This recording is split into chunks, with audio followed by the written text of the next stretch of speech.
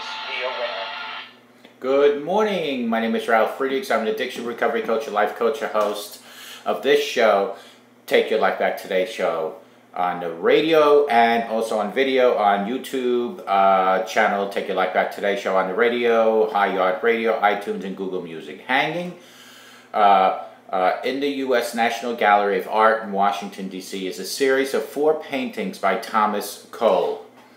The series of those paintings are called The Voyage of Life. Each painting depicts a stage of life, childhood, youth, manhood, and old age.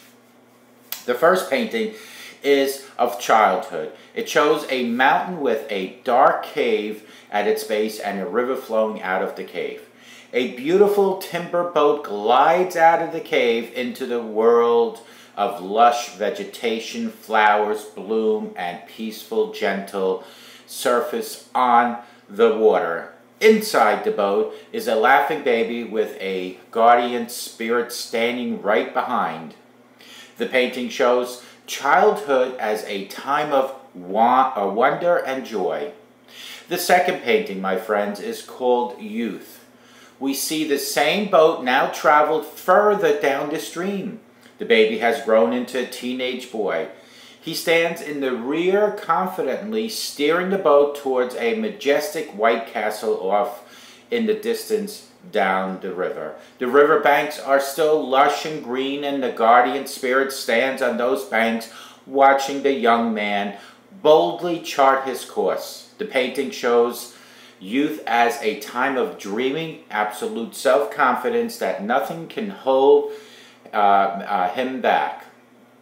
When we look at the third painting, the scene has changed dramatically. The youth has become a man.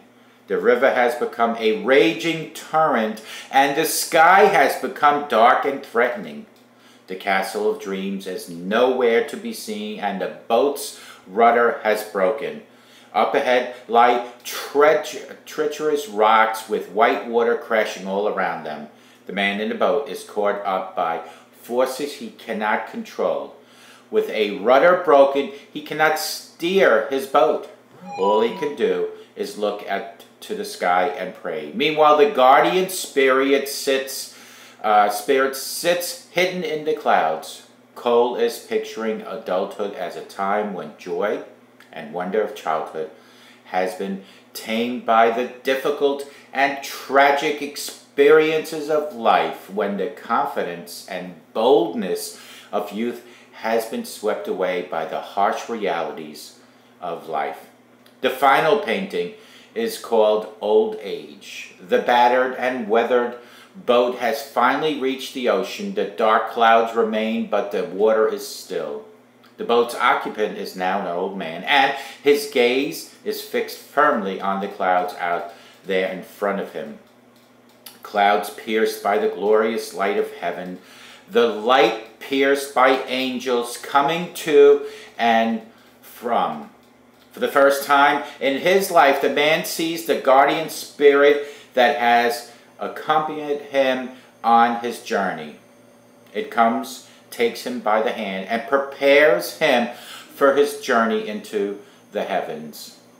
That are the, those are the four stages of life. Call me at 844-405-HELP. Together we can help each other take our lives back. Be good to yourselves. Be good to each other.